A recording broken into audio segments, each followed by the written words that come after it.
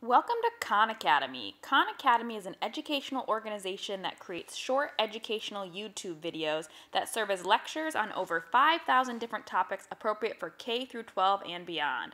Khan Academy also has educational materials including practice problems and exercises for educators that can be supplemented alongside these videos. The best part about Khan Academy is that these lessons can be scaled for any student, and students can progress through them at their own pace.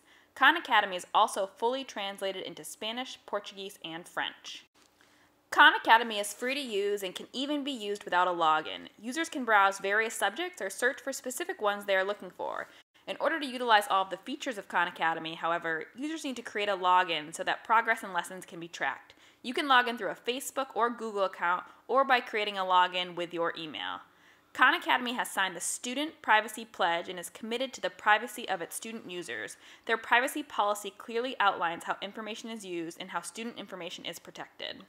Once logged into Khan Academy, you will see your user dashboard. Just like you can do without a login, users can search for lessons based on topic or browse topics by list. Say we are interested in using Khan Academy for an Algebra 2 class. I can search Algebra 2 in the search bar and find all of the associated materials. Within these materials are three main options, Explore, Practice, and Mission. Explore allows users to look through materials by topic, and those topics often contain subtopics. The materials include videos, text, and practice problems. Another great feature of Khan Academy is that their videos, like the one shown here on combining functions that I found under the Explore tab, are transcribed, which is great for accessibility. Their site is also compatible with screen readers like Chrome Vox. Users can also choose practice, where they will go through practice problems on various topics. If a user knows the answer, they can put it in and move on. There is also a sketch pad they can use to draw out their work if need be. If they are stuck, there are videos of a corresponding lesson that they can watch as well.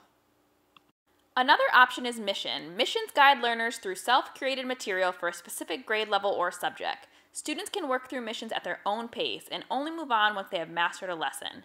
Missions start by determining what stage of the material is appropriate for the user to begin at by asking them questions. They can solve the problem and check their answer and move on. They can be moved backwards in material if they say they have not learned it yet. And like the practice section, there is a scratch pad, and if they are stuck, they can watch a corresponding video. Educators can use Khan Academy to become coaches to their students and set up classes and assign students to material and missions. To do so, they click their name from the dashboard and select Add Students. They create a class and then choose a mission for that class to work through. They can add students to that class through students' email addresses, their Khan Academy logins, or by giving the students the unique class ID. This function allows teachers to track students' progress as they work through given missions and materials. As you can see, Khan Academy is a great tool for use in the classroom, particularly in its ability to create a learner-centered environment where students can work through material at their own pace.